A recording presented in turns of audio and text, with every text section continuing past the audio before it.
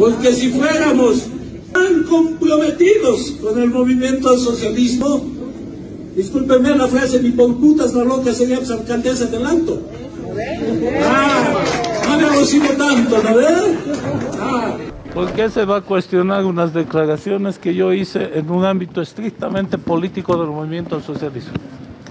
No insulté a nadie, no denigré a nadie, como lo plantea algún periódico.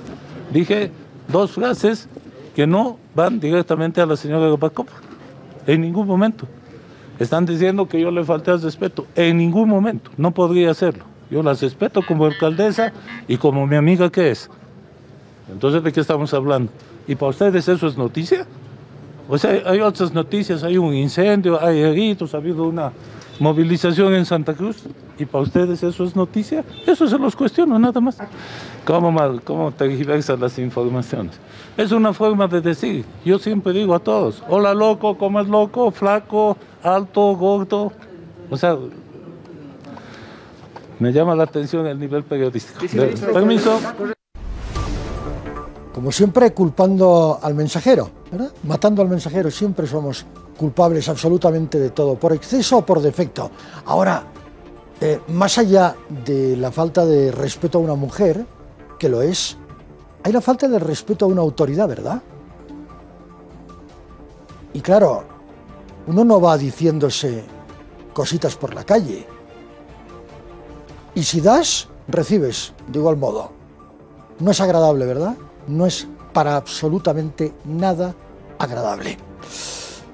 La comisión, eh, una comisión de ética, están pidiendo que una comisión de ética justamente eh, analice las declaraciones del viceministro y la oposición, lógicamente, está haciendo de este asunto una verdadera cuestión de Estado.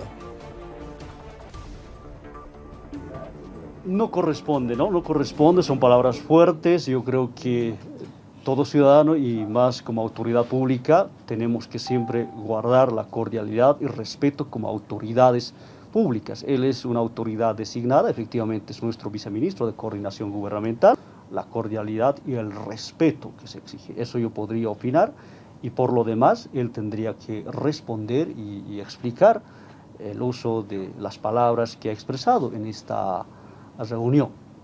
Por supuesto, pero no es la única persona. Hemos tenido parlamentarios que han producido eh, golpizas a asistentes y que por supuesto hasta ahora siguen en el grado de impunidad que caracteriza al movimiento socialismo.